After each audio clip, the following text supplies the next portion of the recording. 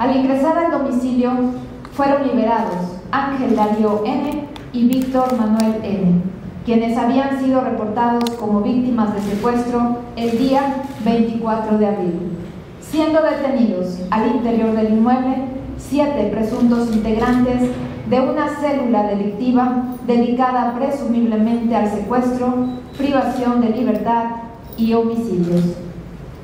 En el operativo les fueron aseguradas siete armas largas, tres armas cortas, municiones, cargadores, armas blancas y chalecos balísticos, así como tres vehículos y una motocicleta.